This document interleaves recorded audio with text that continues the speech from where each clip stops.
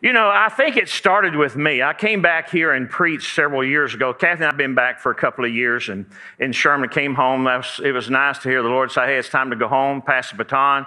And uh, so we came home, and it's awesome. And, you know, I, I, preached maybe about a year or so before that. It had been so many years I got here. And when they uh, introduced me to up and speak, these guys started clearing all the cables. I thought, man, that's awesome. They don't want the old guy tripping up here on the stage. That's all. I don't have to watch for all this stuff, you know. I, I can just walk back and forth and not trip over anything. Has anybody ever tripped over something like that? Yeah, come on now. I mean, tripped over a cord, you know, or, or, or you, you know, and over a rock or a stone. How, how many of you, I don't know if you want to lift your hands, how many of you tripped over your own two feet? I saw someone in the ball game the other night did that. I don't know if you. I said, "Man, you just lacked five yards." okay, yeah, tripped over your own feet. You could have made it. We could have scored. I'm not telling you who it is, you know. But anyway, uh, you know, how many of you have just run into stuff too? It's like anybody that wears a cap knows what I'm talking about. Because sometimes you got that cap and you're looking down and go, bam, it's like, oh my word, ow. You know, ow. Listen, you know, I, I, grew up in the oil field and worked in the oil and gas industry for years. And, uh, and when I broke into the oil field, while I was a young man and in college and stuff like that. Uh, you know, there's so many wild things that went on back then. I mean, people were doing any and everything on these drilling rigs and just crazy stuff. I, I could uh, start on these stories and uh, Kathy come up here and jerk me off the stage. We'd be here all night. But you know, there's things that would do. I've had worked on one company. I remember working Derricks, and and you know these the deadlines, what they call the deadlines, the cable that goes up. That it, you know anyway. Some of you know what I'm talking about. But it's a cable that goes up 100 foot in the air, more than 100 feet. And it's just this cable. And so when I got through running pipe, I just reach over and grab that cable and I just ride it all the way down about 90 something feet. And I went to work for a company called Sharp Drilling Company, and the tool pusher came immediately up there and said, We don't do that for Sharp Drilling Company. You do that again, you're out of here. And I said, okay, I'm not going to do that. But I started discovering, discovering that there's things I shouldn't be doing, you know, some crazy things that I saw a lot of guys running around without fingers and feet and toes. And, you know, uh, got me to thinking. And there was a company that came into play back then called OSHA. And how many are familiar with OSHA now? Yeah, I'd never heard of it before then. I think that's when they just started really making money on us. But OSHA, Occupational Safety and Hazard uh, um, Huh? Safety and Health Administration. And so what they started doing is they could find companies for little things that they do and the wrong things that they do. They, and really, it was, a, it was wonderful because it started saving lives. I've seen people killed on these drilling rigs and off and around and things that OSHA came in and started. What they started doing is getting the people on these drilling rigs and these companies and different companies of thinking for themselves. Thinking for themselves. You know, it didn't take me very long trip over a couple of cords that I started looking for those cords right? And uh, how many, you, know, how many of you in your Christian walk, that's like a trip hazard. We call that cord a trip hazard, you know, and or other things that you might trip on as an old guy, you know, music equipment such as that. But how many of you have you've, you've found things in your Christian walk that you've tripped on? How many, how many you know after you got saved you sinned? How many last week? No. I got you. I should have used yesterday or today, okay? You know, there's trip, ha- the world is full of trip hazards. Honestly. And as Christians, the world we live in and the walk that we walk is full of trip hazards. We do things that we normally wouldn't do or say things we wish we hadn't said or and what the word of God and what God is trying to get us to do is to think about what we're doing before we do it. Amen. How many husbands you said something and suddenly, instantly, you wish you were, re- you were reaching for those words, but they're gone. It's too late. I'm going to pay a price for that from my mouth. It doesn't take long on that to learn to think before you speak, right? But there's so many trip hazards in the walk that we walk. I mean, I could ask you all day just different things. How many have backslid since they? And what made you do that? What caused you to trip? What caused you to stumble? And so we're gonna, I'm going to be covering some things with you tonight. You know, we're in this world of trip hazards that we're in to, to get us to thinking how to avoid those things, how to overcome those things. I have tripped and caught myself. You know, that's a good day. It's when you trip and you fall flat on your face that, you know, I, I was thinking about this and meditating on it uh, of all the adversity that we face. Now, our men's group coming up is a different theme, is about how to overcome adversity. And the speakers are going to be uh, focusing on some of those things and how to do that. And, and listen, we have a lot of uh, adversity. Listen, I discovered the tripping over the cord was not the adversity, it was hitting my face that was the adversity. Okay? And so I try to catch myself before I fall flat on my face. And there's just some of these spiritual principles that parallel even the natural realm, and we got to learn about that, right? And how to overcome those things. Now, here in 2 Peter, the, the first chapter, I want to take you here and just pull out a few things as we cover some of the scripture tonight. And, and here in verse 4, I love, I love this whole passage of scripture, this chapter even, whereby are given to us, verse 4, uh, uh, and to us exceeding great and precious promises, that by these, by these what? These promises, you might be partakers of the divine nature. That's like when you speak into that mirror, you've got to see yourself as better, much more. And as a Christian, God wants us to be walking in His divine nature. And how do we get there? It's through these promises that you might be partakers of this divine nature, having already, having escaped the corruption that is in the world through lust. You have, you have escaped it. You're alive inside. Your spirit's alive unto God.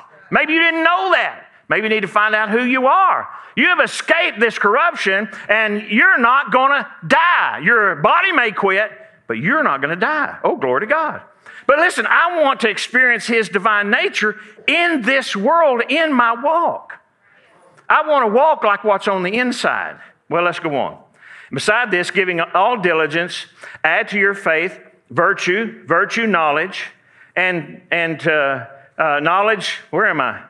And this, this pulpit's tilted. Let me get down here like, okay. Y'all pull one on me there. Okay. Add to your virtue knowledge, and to knowledge temperance, and to temperance patience, patience godliness, and to godliness brotherly kindness, and to brotherly kindness charity, or the God kind of love. Verse 8 For if these things be in you and abound, they make you that you shall neither be barren nor unfruitful in the knowledge of the Lord Jesus Christ. But he that lacks these things is blind, cannot see afar off, and has forgotten that he was purged from his old sins. Look at verse 10. Wherefore, the rather, brethren, give all diligence to make your calling and election sure. For if you do these things, you shall never fall. The Amplified says you'll never stumble or fall. Now, that really jumps out at me. When we're talking about trip hazards of the world, trip hazards of our spiritual walk, listen, I don't want to be stumbling around, I don't want to be falling. How do I not do that? How do I recognize that? How do I be more than that and better than that? And it says, you, if you'll do these things, you shall never fall. For so an entrance shall be ministered unto you abundantly into the everlasting kingdom of our Lord and Savior Jesus Christ. You know, here he's saying there will be some who are ushered in in abundance into the everlasting kingdom of the Lord Jesus Christ. If some are making it in abundance, I guess there's some that just making it in by the skin of their teeth. Right? I want to make it in with abundance. I mean, skin of the teeth's okay. I'd be glad for that, but I want to make it in, in abundance. So it says, For if you do these things, verse 10, you shall never fall. Now, when you read that, you've got to say, man, what kind of person do I have to be to not stumble or not fall? Not to trip, not to, to flail around. And listen, in this world of of hazards and these trip hazards, listen, the question we got to ask ourselves is can I be that kind of person? Can I be that kind of person? And I'm, I'm so encouraged by the Holy Spirit bringing out that word for those of you that stood tonight that you're better than that. That He's saying you're more than what you're looking at, you're more than what you're seeing, even in the mirror. You're more than that. Yeah, I can be that kind of person. So when it says about experiencing the everlasting kingdom of God, we got to realize a couple of things. Bottom line, bottom line, God's word is true. You have got to solidify that in your heart. God's word is true. It doesn't matter what you see, it doesn't matter what you're experiencing because your senses will lie to you. But God's word is true, and you're going to have to get that before you can move forward. And listen, another thing, we're going to go to Hebrews 11 chapter. You're never going to progress unless you do something with what you have right now. You got to do something with what you have right now so that you can progress in the Lord. Amen. You can't, I, was reminded of an old term we used to, to, to, use. You can't just sit there like a pew potato and expect to grow in the Lord. I don't know if that even applies good. Potatoes grow, but anyway. Some of us, we sit around thinking, just going to act like a pew potato. I'm good right here. I'm not going to do anything. I'll just sit right here. But man, you got to do something with what you got. Those of you tonight, as the Lord gave you that word, you need to, you need to stand on that. You need to act on that and let God work in your life tonight. So it doesn't matter what your background is, faith is the basis for a whole Christian walk. It is the common denominator with all of us, this level of faith. This thing that you start with. How many gave these, these steps? Faith and knowledge, knowledge, you know, uh, p- uh, patience and temperance and all these godliness and brotherly kindness, all the way up to the God kind of love. But it starts with faith. And we all have to start somewhere, and that's faith is a common denominator for all of us. And listen, I'm telling you here tonight, you may say, Man, I don't have much faith.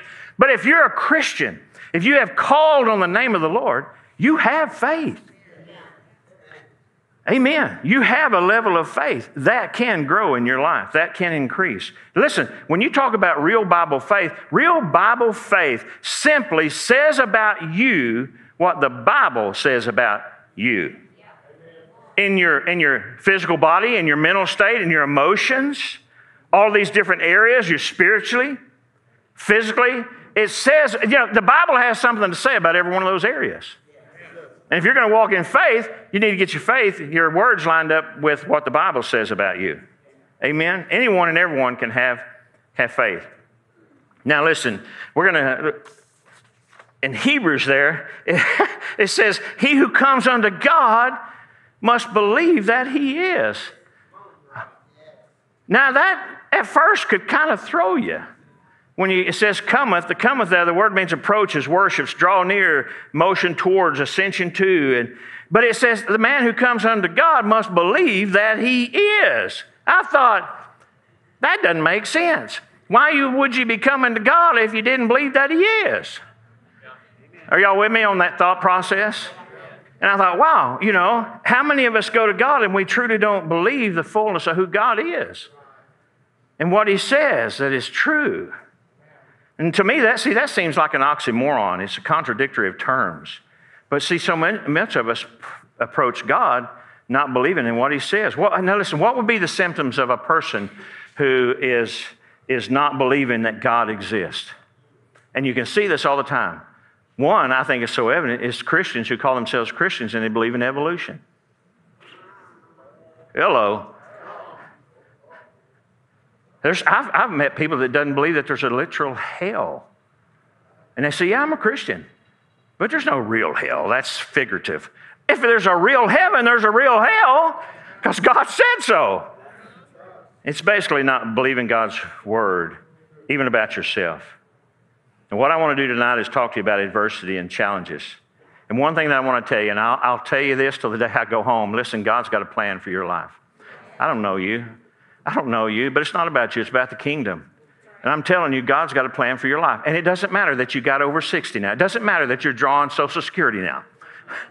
God's got a plan for your life. Amen. God's got a plan for your life. Let's go to, let's go to Acts, the, the 14th chapter. This is Paul and Barnabas. And when they were come, they had gathered a church together and they rehearsed all that God had done with them and how he had opened the door of faith unto the Gentiles. So Paul and Barnabas said, listen, God's done a great thing. He's not only extending the word, his word to the Jews, but to the Gentiles. He opened the door of faith to the Gentiles. You know what that's saying? He opened the door of faith to you and me. Oh, praise God. So the word of God has come to us, and the door is open. And the only question is, are we going to step through it? Are we going to step through the door that God has made available to us? And what are you going to do with that door? Acts the 15th chapter. You're going to ask you why? Why, why has God opened that door? Simon hath declared how God at the first did visit the Gentiles. What? To take out of them a people for his name. God's wanting a people that will follow him, a people who will live for him, be strong and of a good courage and follow God.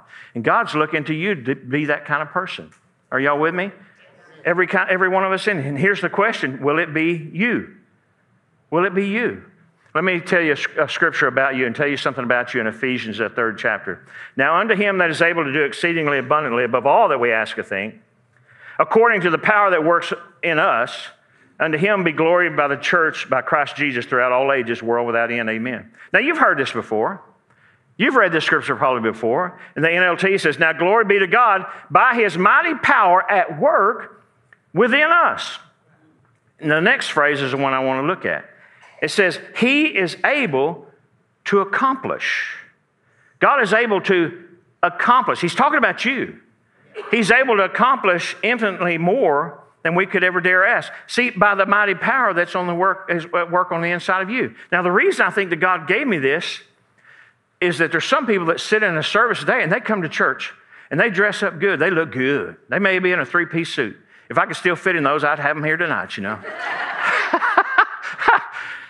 but there's people that come to church all the time, in all sincerity, in their heart, they think they're too far gone. They think they're too far gone.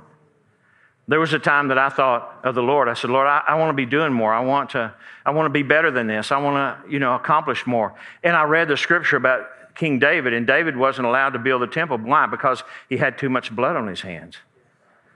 And I thought, Lord, I want to, I want to do more. I want to accomplish. Do I have too much blood on my hands?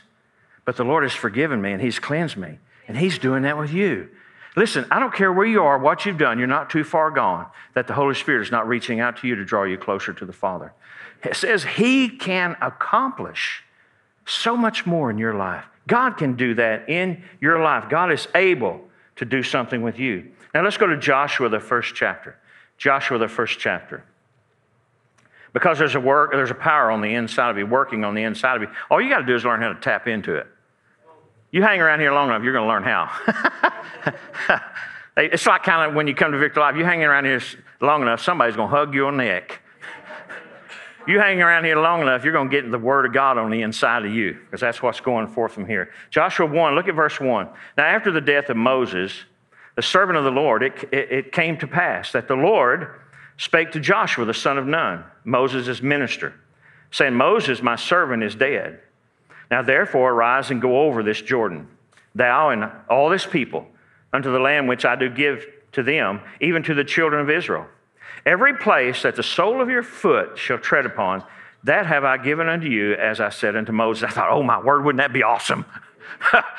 right now, Lord, just give me an hour. Just give me an hour. I can walk a long ways in an hour around here. Land is worth a lot of money around here. You know what I'm saying? Actually, a land of milk and honey. Uh, can you imagine what he thought about that? The Lord said, hey, Wherever you put your foot, wherever you walk, that's yours. Can you imagine what welled up on the inside of him? Woo, woo, woo. Yeah, Texas, woo, wasn't it? He didn't even know Texas in, but it, woo, it's somewhere. Okay.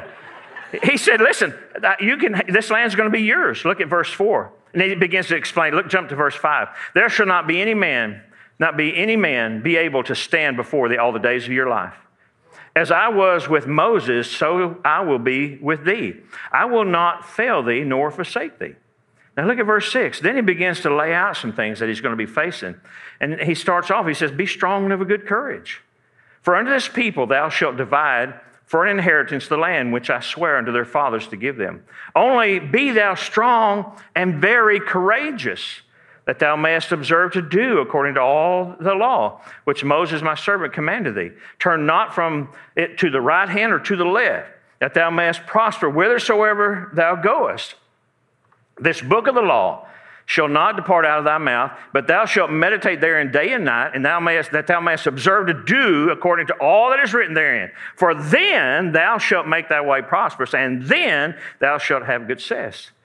Have not I commanded thee? Be strong and of a good courage. Do not be afraid, neither be thou dismayed, for the Lord thy God is with thee whithersoever thou goest. See, that's God's promise. God's promise to him was this everywhere you put the sole of your foot and tread upon, I have given to you, as I did to Moses. I thought, oh my word.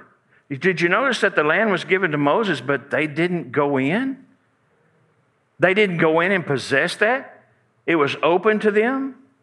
And I, I, I think that Lord, the Lord has given us the abundant life, but we must go in. He told Joshua, get up and go in. It was given to Moses. He messed up and didn't get in there. I thought, wow, we've got to go in and possess the land. If the door of faith has been opened to us, it's up to us to stand up and go in through that door of faith and receive what God has for us to prosper in the land. I believe that God wants us to, to prosper right here where you are. God wants you to prosper right where you are. Amen. I was thinking, Kathy and I, Kathy's realtor, so we were, uh, yesterday was her birthday, so we went out to dinner and went to a movie. And before we made it to the movies, we went to this little area back over in south of, is it Sugar? No, Sh- Schulman's. Okay. Schulman's or Schulman's? The movie house on that end. on the other side, down there on the east side, it's amazing how much building is going on in there. So we were driving in and around there. Were, that's going to be quite a complex back there. And I thought, I thought, there's, gonna, there's a lot of people making a lot of money doing this.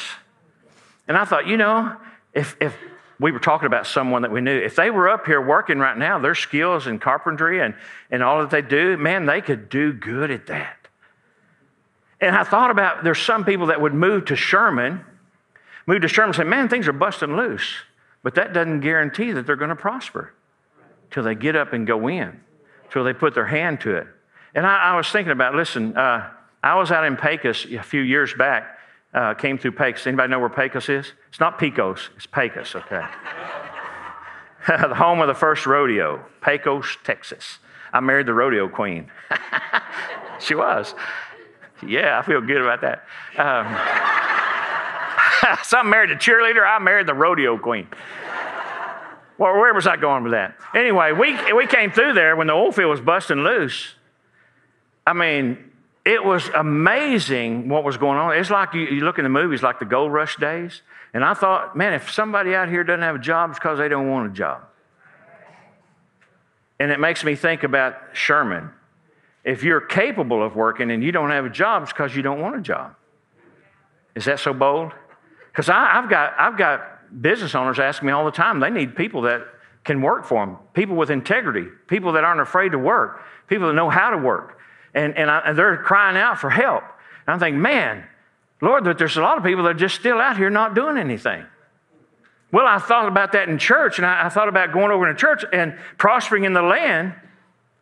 Because I thought, can you go into, can you move to Sherman and not prosper? Yes. Can we attend church and not get anything out of it? Yes. Man, can we be a member of a church and not get anything out of it and grow? The answer is yes. That means we got to rise up and go in and possess our land and be blessed of the Lord. Amen. To walk in faith and trust God. Now, in this passage, uh, Joshua, God introduced the virtue of courage. Courage, I believe, is a part of our character. And if we're going to grow in character, we've got to, we got to grow and be courageous in our walk. In Joshua 1 there in verse 8, he said, This book of the law shall not depart out of thy mouth, but thou, uh, that thou mightest meditate therein day and night, that thou mayest observe to do according to all that is written therein. For then thou shalt make thy way prosperous, and then thou shalt have good success. What I want to bring out about that is the prosperity of Israel was in their hands. It was in their hands to do if they would do what God said. Now, see, in, in that passage, he told him to be strong and of a good courage in three different areas. One, he said, You're going to go out here and you're going to have to divide all this land up with these people. So you got to be strong and of a good courage. And secondly, you're going to have to walk according to the word. You're going to have to follow my word. And you're going to be strong and of good courage to do what my word says. How many of you found that so true? Walking according to the word of God. And thirdly, he said, I'm going to be with you, and you got to be strong and of a good courage about anything else that comes against you. Because there's things that come against us. And we got to be strong and of good courage. So God's going to take care of all that if we will do that. But we got to rise and go in and possess the land. And I think that He's laid out a blueprint for our prosperity in those scriptures. The principles work. Amen. And clearly, I think, I think what I see here is that courage is an issue of our possessing the land of abundance. To be courageous. To be courage in what we, courageous in what we do. And listen, did you notice that being courage, courageous, having courage, being courageous is not a suggestion, it's a command. Now, the question is do you take it as God telling you, you need to be courageous?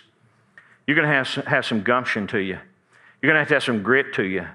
Now, see, for a man to say, men, I don't, I don't know, I guess women are the same way, but men, That speaks something to us. We men, we need to be men.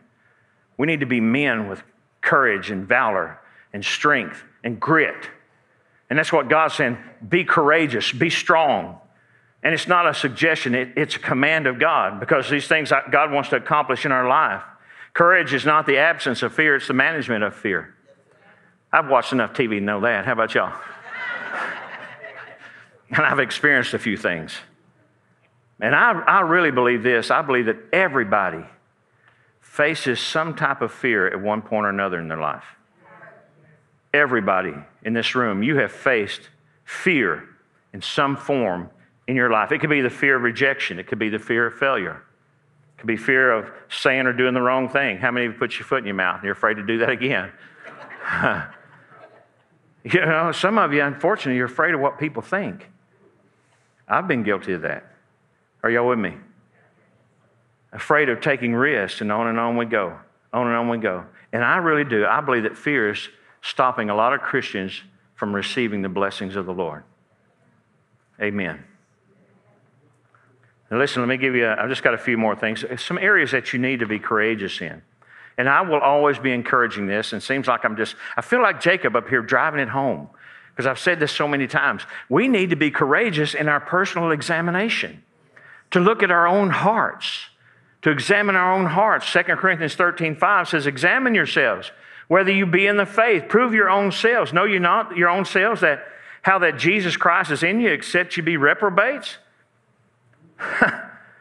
Don't you remember who you are? That Christ is on the inside of you? You're not a reprobate, are you? You're not a lost person. You're not a heathen, are you? Well, you might act like a heathen, but you're not. You're, you're born again. Don't you know that? Can't you remember that? Examine your heart. Look at your own heart. Listen, you know, when you're examining your heart, here we need to examine our heart in light of God's Word. If you're going to look at yourself, do it in light of God's Word, what God's Word says about you. Listen, if I, if I need my piano tuned, I don't call an auto mechanic to tune my piano. and I don't ask that piano tuner to go fix my car. And if I want to know how to fix me spiritually, I'm going to go to God, not to the world. World has no idea how to fix me. Amen. Quit listening to the world. You got to examine your heart and prove your own selves in light of God's word. Prove yourself in light of the word of God. What does God's word say about you? Oh, glory to God. Philippians 2:12 Wherefore my beloved as you have always obeyed, not as in my presence only, but now much more in my absence. Work out your own salvation with fear and trembling. What does it take? It takes courage. It takes courage to examine yourself and be honest with yourself and with God. It takes courage to look in that mirror.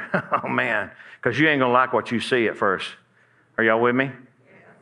Amen. You haven't tuned your eyes to see within and see the heart of you, to see what God sees.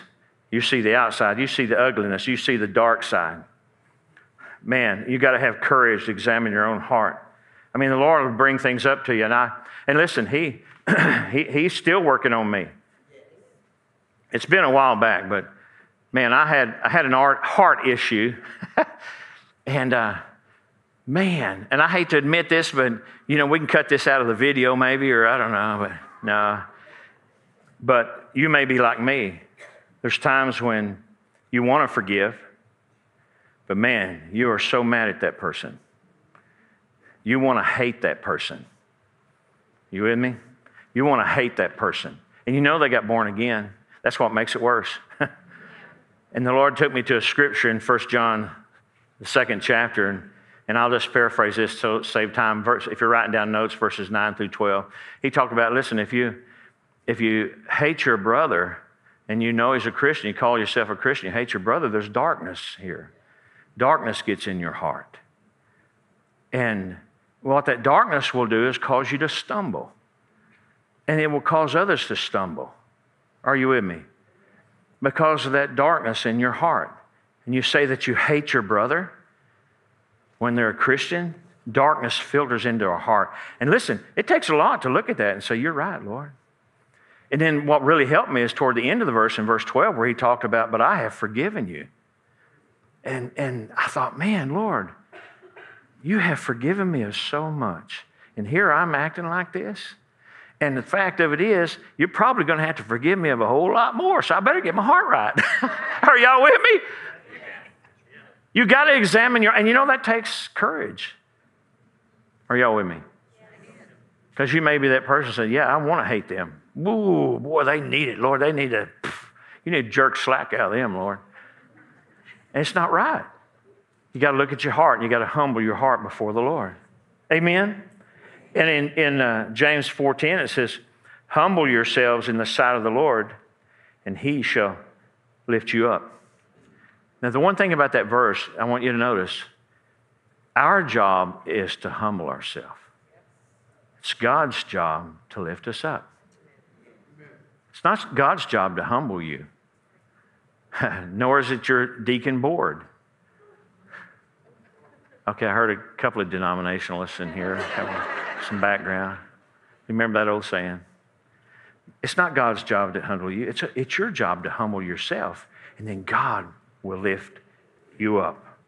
Oh, praise God. Three things that can help us in this process. We got to be honest with ourselves. You know you better than anybody knows you, right? Amen. You got to be honest with yourself. And you got to learn to be repentant in your shortcoming. And say, Lord, I'm, I'm sorry. Man, that brings back the word at the start of the service because you have the, you have the right intentions in your heart, but you find yourself not doing it, right? And, and, and we've all done it probably, and you got to take responsibility in your mistakes. Take responsibility. Man up, woman up. take responsibility and have courage. And you got to have courage in your relationships. And I, I'm not going to have time to go through all of that tonight, but you got to have, listen, uh, it's important that we exercise courage in our personal relationships and be honest with one another. One, it's got to, takes a lot of courage to be married. and I ain't going there. Okay, come on. No, it does. It takes a lot of courage to man up and love your wife as Christ loved the church and swallow your pride and your selfishness and love that other person regardless of what they say, do, or not that they did say anything wrong. Are you with me? That takes a lot of courage. And women, it takes a lot of courage for you to fulfill the Word of God and submit to your husband. You're saying, if he'd give me something to submit to, I'd submit to it. But Lord, you got to just keep working on him. But it, you know, it takes courage to open up your heart to another person in such intimacy and share your heart and build a life together. Kathy and I have built a life together 47 years, but that took a lot of courage for both of us and a lot of strength, a lot of love, and a lot God taking us by the hand. And you got to have courage in your parental uh, parentage. To be a parent, it takes a lot of courage, doesn't it? Yes. Amen. It takes a lot of courage to raise those kids and, and to commit to that and be consistent with it and dedicated to it and sacrificially dedicated to it. It takes a lot of courage to do that and raise them in a world of darkness to see so they see light. And it also takes courage in friendships. You know, faithful are the wounds of a friend, but the kisses of an enemy are deceitful. True friends tell us what we need to know, not what we want to hear, right? And true friends will keep us from destroying our lives. Amen. We got to have the courage to be a true friend. Are you with me? To be a true friend. And if you'll show yourself friendly, you're, you're going to have friends. Now, I'm going to go through a couple more scriptures here as I start to wind this down. Now, I'm going to say this. I'm going to, I'm going to, I'm going to say it because of one scripture in Deuteronomy, the eighth chapter. And then maybe another way in case it offends you. in case you're, you know, you're, I, no, I'll not say that because I know that would offend you. So I think God will test and prove his children. Now, let me put it another way if that offends your doctrine. God will allow you to be tested and proven. And I, I, can agree with that because he don't have to put nothing on us. There's enough running out there right now get on us if he just backs up a little bit, okay? And allow you to be tested. In Deuteronomy, the 8th chapter, look at verse 16. He gave you manna to eat in the desert, something your fathers had never known. Two, to humble and test you, so that in the end it might go well with you. You imagine eating manna every day? What is that going to bring about? Humility, patience, trust, a lot of things. He said, I'm, I'm allowing you to be tested here. I'm going to let put you through it so that you can, you might go well, it might go well with you in the end. See, God knows what's down the road. You don't always know it. Are y'all with me? Verse 17, you may say to yourself, My power, my strength, uh, the strength of my hands has produced this wealth for me. But remember the Lord your God. It is He who gives you the ability to produce wealth. And confirms and so confirms his covenant which he swore to your forefathers as it is today. See, listen, God gives us a chance to see if we're going to be faithful to him. God will give you a chance to see if you will be faithful to him. Faithful in your family, faithful in your church, faithful in your finances, faithful in your walk. God will give you an opportunity to do that. You know, Joseph's experience in Egypt, God allowed Joseph to go through such great trials. But boy, did he get a good attitude. Amen. And you know, I think about that. I think God, you know, God tried Joseph and what was in his heart to see if he would obey God. I know God knew what was in his heart. The thing is, Joseph needed to know what was in his heart. I'm telling you, God knows your heart. He knows what's in there. Do you know what's in there? Do you know whether you have the strength to follow God? Do you know that you have the strength to stand against the wiles of the devil, to stand against adversity and challenges, and all of these trials that come our way? Do you know what's on the inside of you? See, I believe God allowed him to do that so he could see what's on the inside, that I'll follow God. In James, the fourth chapter, a couple more scripture and I'll close. James, the first chapter. My brethren, count it all joy when you fall into divers temptations. Count it all joy when you fall into divers temptations, knowing this, that the trying of your faith worketh patience. But let patience have her perfect work, that you may be perfect and entire, wanting nothing. That you may be perfect, meaning mature, entire, wanting, lacking nothing. Don't you want to be at that place where you, you're mature and you got everything and you don't lack anything? Okay, there's four of you. I, I, I want to be there. Do you know there's no other way to get there except through patience? What he's talking about here, there's no other way to get there but through patience, which comes from the challenges that come your way, the temptations, the trials. Are you with me? And he said, Man, when you go through these temptations, know this the trying of your faith is going to work patience. It's going to develop something into you. It's going to develop a good thing on the inside of you. And I was looking at that with the temptations. Listen, the tripping, the stumbling, that's not the adversity. The adversity is when I hit the ground, bust my nose. These temptations, that's not the adversity. That's the trip hazards that Satan's trying to throw up in front of you. It's when you succumb to it and you yield to it comes the adversity. You just got to know the difference. You got to realize the difference. You got to see the difference. Are y'all with me? See it when it comes your way. I don't have to trip. I don't have to fall. I don't have to succumb to that temptation. Glory to God, because I'm going to walk in perfection. I'm going to overcome. Amen. Oh, praise God. it's only through the trials and testings that we, we find out what we're really made out of. Amen. Okay, I see some of you not getting that. Um, early on, and I'm almost through here, really. I'm going to make it on time tonight, okay? And uh, glory to God. it's only through trials and challenges that we find out what we're really made out of. You know, it's a good thing when you look back on your life and see where you've come and grown. There is nothing wrong with that. I had a challenge a few years back. It's been a few years. I don't 12, 14 years.